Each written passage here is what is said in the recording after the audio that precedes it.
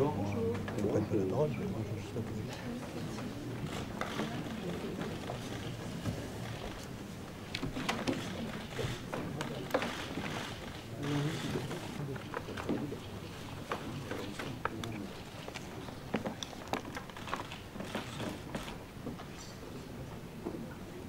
pas sanitaires qui ont été décidés par le gouvernement, notamment le ministère de la Santé, efficaces, collectives et coordonnées pour qu'on puisse contenir euh, autant que possible. C'est important que nous puissions réunir les têtes de réseau du sport français pour pouvoir euh, vous écouter sur une évaluation quotidienne qui est amenée à évoluer avec le temps pour apprendre ensemble avec le mouvement sportif et notamment les associations